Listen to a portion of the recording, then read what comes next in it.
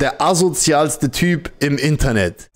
Ich liebe euch alle, egal ob ich schwarz oder weiß, denn ich spielt keine Rolle. Yo, was geht ab, meine lieben Freunde? Willkommen zu einer weiteren Reaction auf Leon Lovelock Highlights und ich hoffe, bei euch zu Hause ist alles gut. Liebe geht raus an die ganze Community und zwar ziehen wir uns ein neues Video rein von Two Bored Guys. Das Video heißt der asozialste Typ im Internet. Ich habe mir letztens im Stream hier auf lustig mal Playboy 51 von damals und Assi Tony haben wir uns ein bisschen reingezogen und haben uns schlapp gelacht und dann habe ich heute auf YouTube ein Video entdeckt über den Guy und das ziehen wir uns jetzt rein auf entspannt. Mal was ganz anderes, so ist jetzt keine miese Schwurbelei oder irgendwelche Verschwörungstheorien oder so, sondern einfach nur, ja, ein bisschen Entertainment, so, ein bisschen was zum Lachen. Mal gucken, was hier erzählt wird. Ich bin gespannt. Wir gehen rein in den Peter. Ich liebe euch. Daumen nach oben, Kommentärchen schreiben, Kanal abonnieren und los. Es ist das Jahr 2006. Die Deutschen feiern ausgelassen ihr Sommermärchen. 2006, Digga, guck mal, das kommt mal, ey, krass. Ich bin einfach alt, ja.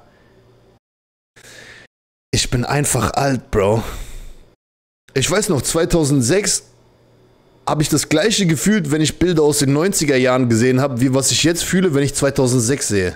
Es gibt noch kein Facebook oder Instagram, keine iPhone. Bruder, das war noch eine normale Welt, ja?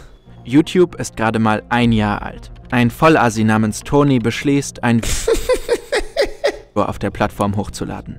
Er weiß nicht, dass sein Werk eine ganze Bro, wisst ihr noch, wie YouTube damals aussah? Für immer verändern wird. Seid mir nicht böse und dann gehen sie fremd, ich weiß es doch. Ich habe schon so viele Weiber ge... Vollassi Die Wahrheit geht viral. Innerhalb kürzester Zeit schauen sich Millionen von Menschen sein Statement zu Frauen an. Shoutouts gehen raus, Digga, Toni, Bro. Hat er eigentlich noch mal irgendwas danach gemacht, so? Mit dem müsste man eigentlich mal einen Talk machen, yo. Ich schwör dir. Damals war das halt noch nicht so, Alter. Hätte ich damals schon mehr geschaltet, so, dann hätte ich direkt mit dem einfach einen Talk gemacht. So, stell dir mal vor, du machst kurz danach einen Talk mit dem, das wäre viral sein Vater gegangen. Ich kann nicht behaupten, dass ich einen Hass auf Frauen habe, aber die sind so billig, da muss man drüber reden. Viele verabscheuen seine frauenverachtenden Aussagen zutiefst. Andere feiern den Kultproleten für seine authentische, oberkörperfreie Performance vor einer verwackelten Kamera. Das ist halt so, so plump, so ein bisschen assi, wie das ähm, ja, in der Gesellschaft, glaube ich, nicht so gut ankommt. Aber ich sag mal so, als Frau sagt er schon viele Sachen, die wahr sind. Krass. Wifey Material. Ob Safe. Sexist oder Visionär, der Vollassi wird ein nationales Meme. Er fängt an zu rappen, verkauft Merch, wird in Dokus gefeatured und Ach, echt, ja? Interviews. Guck mal, habe ich gar nicht mitbekommen. Dazu entstehen unzählige Tracks, in denen die Wahrheit geremixed wird. Die stinken wie die Sau. Ich lüge nicht. Kriegst du volle... das kannst du keinem antun. Im Prinzip ist es so. Doch hinter Tonys Erfolg steckt mehr als nur die Proletenmentalität. Der selbsternannte Vollassi war ein Vorbote für Internettrends und Phänomene, die bis heute andauern. Ist so, Digga. Ist so, das war der Andrew Tate von damals quasi so. Weißt du, wie ich meine? Der, das Ding ist halt, der, der hat teilweise Dinge ausgesprochen, die in vielen Männern schlummern, so, weißt du, wie ich meine? Aber schon damals sich keiner getraut hat, die Sachen so richtig auszusprechen. Weißt du? Ist halt einfach so. Weil du halt als Mann, wenn du solche Sachen sagst, so, ich sag jetzt nicht das eins zu eins, dass man es so ausdrücken sollte wie er, so, ne? Aber man muss ganz klar sagen, dass teilweise, was der da sagt, da gibt, da ist, da ist auf jeden Fall ein Prozentteil Wahrheit dran, was der da verzählt, so. Und ja, wir sind halt in eine Gesellschaft mittlerweile noch extremer gekommen. Also heutzutage würde sowas nicht mehr gehen. Heutzutage wirst du, glaube ich, direkt verklagt werden, wenn du so ein Video rausknallst, so. Aber hardcore. Überall kultigen, polarisierenden, fragwürdigen Personen, die ohne erkenntlichen Grund berühmt werden und sexistischem Ge Ey, Matteo, Digga, ich küsse dein Herz, Bruder, bester Mann, ja? Das ist mein Homie hier, Digga, den habe ich kennengelernt in Tulum. Wir sind immer noch im Kontakt, der hat ein Kind gekriegt und so. Ich habe jetzt vor ein paar Tagen mit dem noch geredet. Bruder, wie jetzt, die bauen den damit ein? Was? fragwürdigen Personen, die ohne erkenntlichen Grund berühmt werden und sexistischem Gedankengut, das bis heute im Internet kursiert. Sexistischem Gedankengut, siehst du? Da siehst du schon, wie das geframed wird. Matteo ist G. Der, der ist überhaupt nicht, der ist überhaupt nicht drüber, so, der ist überhaupt nicht frauenfeindlich, meiner Meinung nach. So. Einfach nur Truth, Bro. Krass, Alter. Ein Wunder, dass die mich nicht einblenden hier, wa? Als Mann, egal wie, das machst was verkehrt. Ich habe dem Wort Assi noch so ein bisschen Flavor gegeben. Alter Sau, da Hätte heute ein Millionenbusiness.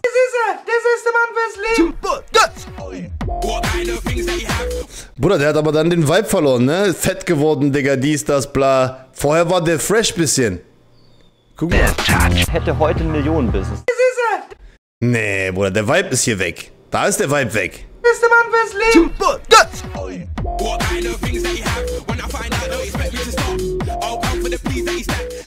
Vollassi erobert das Internet. Toni kommt natürlich aus Offenbach. Ohne Nee. Schulabschluss und nach einer abgebrochenen Ausbildung zum Kfz-Mechaniker arbeitet er 2006 in einem Wettbüro. Prototyp, Digi. Als er seinen Clip online stellt, versteht noch niemand das unglaubliche Potenzial des Internets. Ist so. Ist so, Digga. Das war noch crazy damals.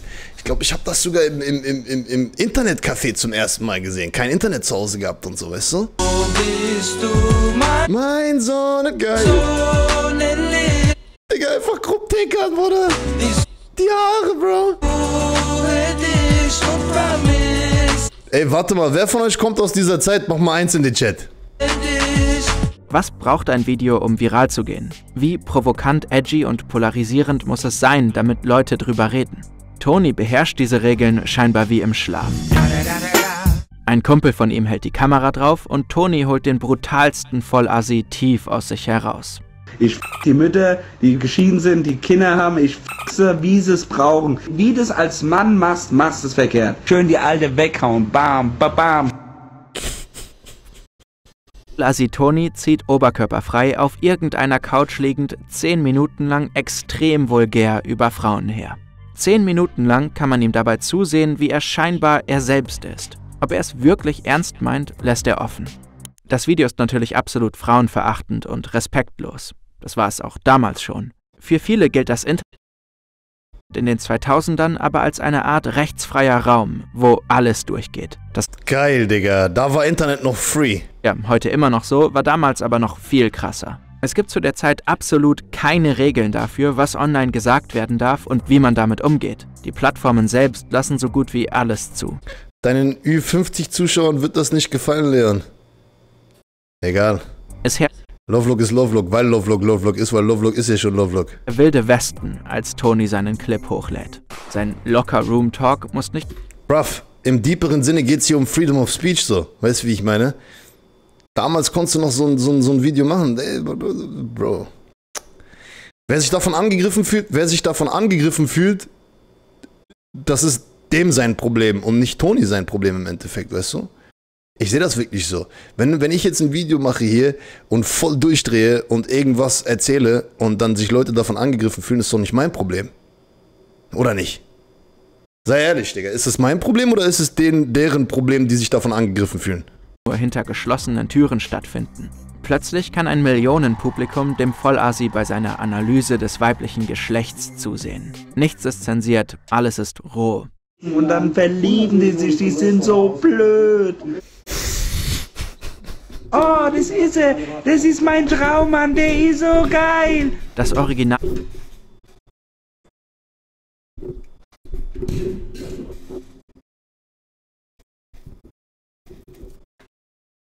Video von 2006 erhält innerhalb von vier Jahren über 10 Millionen Aufrufe.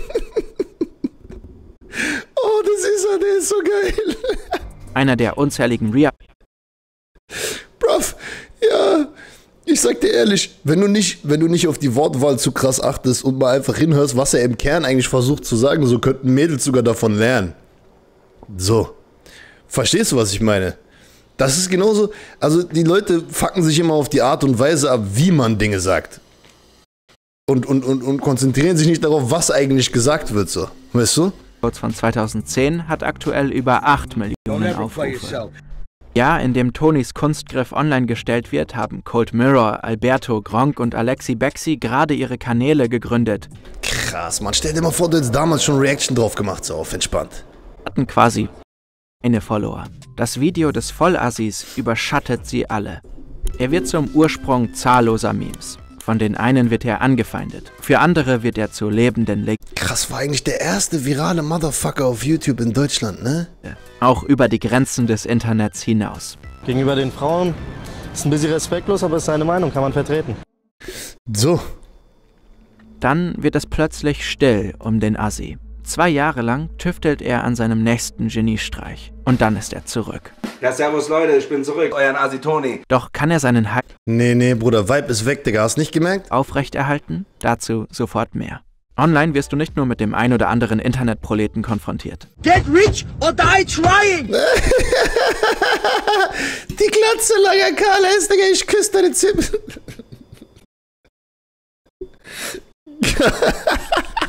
Es gibt schädliche Bruder, alle meine Homies werden eingeblendet hier. Ich küsse doch deine Zirbeldrüse.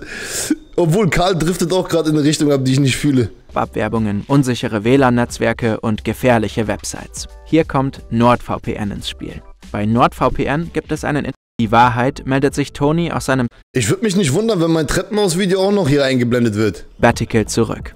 Mach erstmal die Basics, Bruder. Mach erstmal die Basics, Bruder. Vollasi hat sich neu erfunden. Er ist jetzt Rap-Künstler und will mit lyrischen Werken brillieren. Babam Volume 1 heißt sein Album. Es hat stolze 18 Tracks und kommt im Mai 2008 auf den Markt. Dafür hat Tony sogar ein Kernasi Productions. eigenes Label gegründet. Kernasi Productions. Geht auf kernasiproductions.com und haut euch die Scheiße rein. Für aktuelle weitere News geht ihr auf offenbach.de. Ah, yo, Bro. Ah, peace out, das war's, ich bin draußen. Er hat ein neues MySpace-Profil. Gemeinsam MySpace, Digi. Krass. Boah, MySpace habe ich Stunden verbracht damals, um die Page geil zu machen, mit Musik einblenden, so einen kleinen Player an der Seite. MySpace, bruv. Krass. mit seinen Digga, das war damals heftig. Businesspartnern von Kernasi Productions bringt er Merch auf den Markt. Tony ist mutmaßlich der erste deutsche YouTuber mit dem Masterplan, seine Reichweite zu nutzen, um später Musiker zu werden. Damit hat er Größen wie ApoRED, KS Freak und Hey Moritz den Weg geebnet. Das ist 2012. Ich habe einfach einen Kanal erstellt. Ohne Witz. Aber kann der Vollassi noch einen draufsetzen? Kann er mehr als nur Krass, der hat schon, der war schon Vorreiter in vielen, also viel, in vielen Hinsichten, so, ne? oberkörperfrei, maßlos sexistisch sein? Wird er mit seiner Musik an den Erfolg von Die Wahrheit anknüpfen können? Den Erdbeer-Touch, den Erdbeer-Touch. Nee, nee, auf keinen Fall. Nein. No. Nee. Das Album Vibe ist weg. floppt. Doch Assi Tony hat noch ein Ass im Ärmel. Ein Assi, könnte man sagen. I will see myself out. Er ist mittlerweile bestens vernetzt in der deutschen Medienwelt. 2010 lässt er seine Connections spielen und wird in einer Arte-Doku gefeatured. Nawalny vom renommierten Regisseur Daniel Roha gilt für Boah, Digga, hätte der ein bisschen intelligenter gemacht, dann hätte der wirklich was draus machen können, so, ne? Krass, Alter. aktuell als beste biografische Dokumentation. Wir Muss mal überlegen, ey, mit einem so einem Video, einer der ersten Leute auf YouTube, der viral gegangen ist, so. Aber ist natürlich klar, wenn du einer der ersten bist, dann weißt du auch nicht richtig, was zu tun ist, Digga. Weißt du?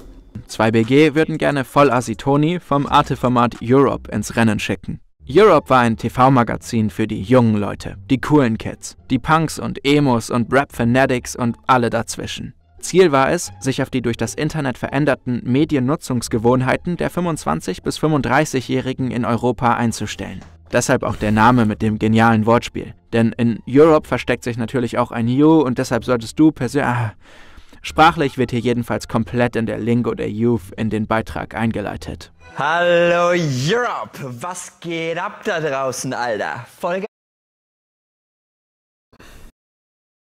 oder einfach nur alles Bombe und Schnitt.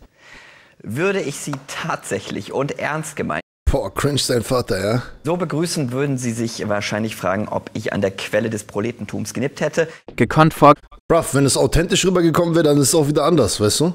eine Surprise vom Knorken Arte-Moderator. Dem Das ist Knorke, Digga. Knorke, Digga. Wer kennt das Wort noch? Kollegen würde ich am liebsten einen Faustchecker für seine hippe Sprache geben, Alter. Aber nachdem cool easy Proletentum gedroppt wurde, muss der jung gebliebene Fernsehjournalist das natürlich auch locker und flockig erklären. Prolls sind heute zumindest in den Medien salonfähiger als je zuvor. Und jede soziale Schicht hat dabei die Prolls, die sie zulässt. Wobei mit dem Ursprung des Wortes Hier ein gelungener Bin ich auch ein Proll, Freunde? Oder nicht? Spiritueller Proll. Und smoother Kamerawechsel. Dann schmeißt der Moderator sich noch förmlich mit dem ganzen Körper ins Wort Ursprung, hebt sogar jugendlich ein Bein an. Ist das noch Arte oder sind wir hier mitten auf einem Pausenhof gelandet? Wobei mit dem Ursprung des Wortes, dem Proletariat, natürlich auch heute vor allem die Unterschicht oder das bildungsferne Milieu, wie man es ja so schön bezeichnet, gemeint sind. Das bildungsferne Milieu, wie man es so schön bezeichnet, wird besonders von Vollassis wie Toni angesprochen. Entsprechend wird er in dem Artebei Proll mit Herz am richtigen Fleck. Fühl ich? als Aushänger Leon, mein Bro, ich küsse deine Zirbeldrüse, bin zum Essen mal in deinem Stream. Hab dich bei YouTube gefunden. Liebe geht raus, bruv.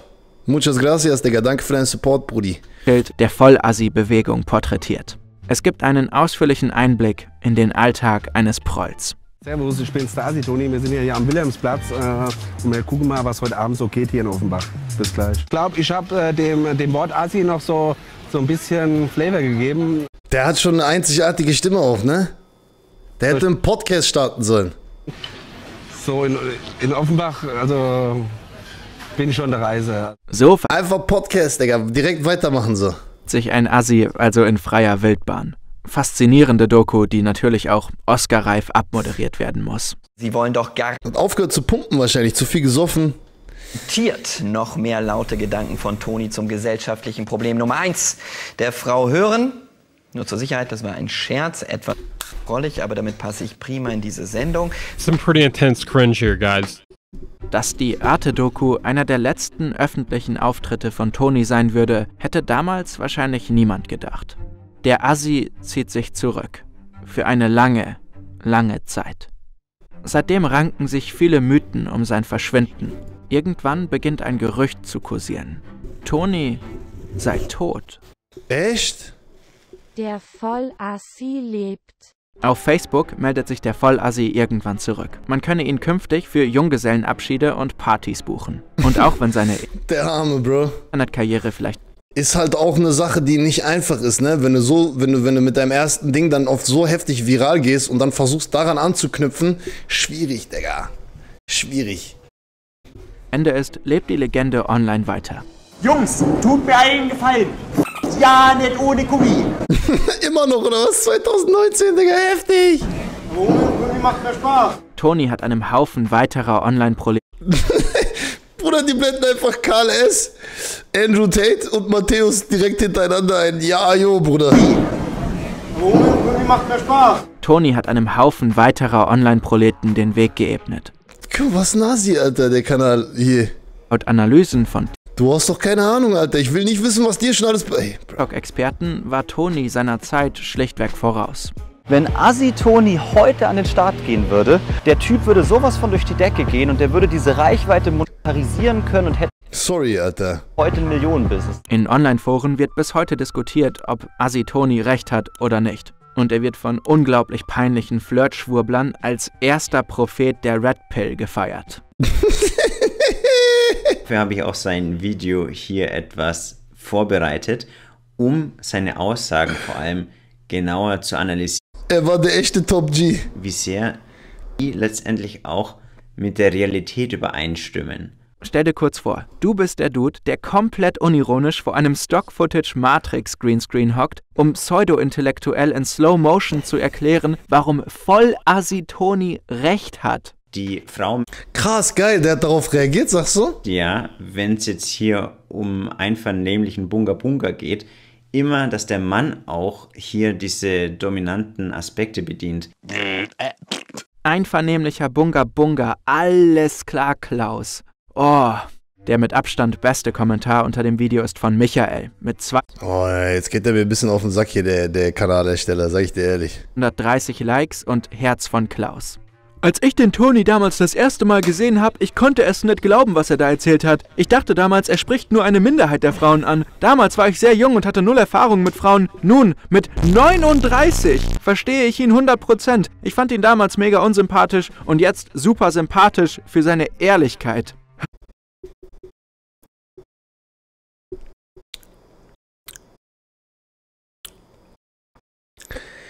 Ich meine, das Beispiel von meinem Nachbarn sollte euch alle eigentlich mal zum Denken geben, so weißt du, wie ich meine? Ich sag dir ehrlich, wenn du nicht Red Pill bist in der heutigen Generation, dann wirst du früher oder später richtig hops genommen von Frauen. Es ist einfach so. Sorry, wenn ich das so hart sagen muss, aber es ist so. Du musst ein Bewusstsein dafür haben, wie Frauen funktionieren. Das ist voll wichtig heutzutage, ich schwör's dir.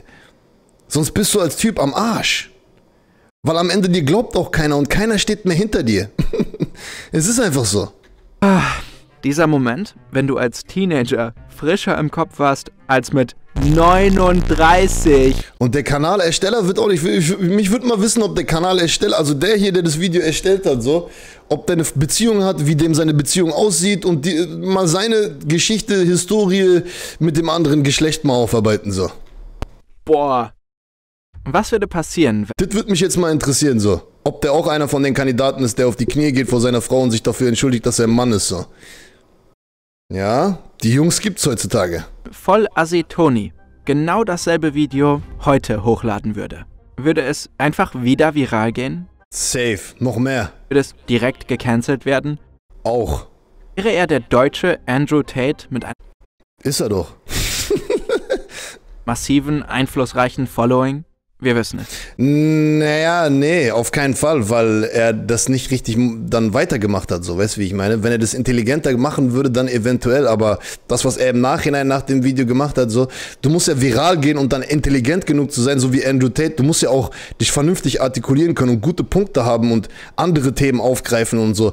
Also ich sag dir ehrlich, so ein Andrew Tate, so zu reden, das habe ich auch gestern gesehen bei dem Fresh and Fit Podcast, so, so zu reden wie ein Andrew, also dass sogar Myron neben dem halt wie ein BG aussieht, so, weißt du, so zu reden wie der, dieses Charisma zu haben und die Dinge so gut auf den Punkt zu bringen und vor allen Dingen auch noch über Politik und über diese ganzen Sachen dich gut auszukennen und gut artikulieren zu können und so, das, Bruder, das ist, das gibt's nicht oft. Das ist schon ein heftiges Level, Digga. So oder so, der Vollassi hat uns 2006... Also es ist nicht umsonst so, dass es zu einer Zeit der meistgegoogelte Mann der Welt war, so. Das, äh, hat Gründe. Zufall gezeigt, zu was das Internet in der Lage ist. Ein unbekannter Dude ohne besonderes Talent wird vom Sofa aus auf einen Schlag berühmt. Ein Star mit Reality-TV-Charakter. Crazy. Mit und über den die Masse wochenlang lachen konnte. Und ein roher Sexismus, der einigen besonders klugen Schon wieder Matteo, Digga, ich küsse den Menschen bis heute Digga, das Video muss ich dir mal rüberschicken. aus der Seele spricht. Auf unsere Interviewanfrage haben wir bisher leider keine Antwort erhalten. Oh, Digga, soll ich den mal einladen? Bis dann. Peace out, das war's. Ich bin draußen. Baba. Case closed. Ich küsse dein Herz. Äh, ja. Lustige Geschichte auf jeden Fall. Wild. Wild. Weiß ich nicht, ob ich das hochladen werde bei YouTube so, aber wenn ja, dann lasst eure Gedanken dazu in den Kommentaren da. Wir sehen uns im nächsten Video. Macht's gut. Bis dahin. Peace out.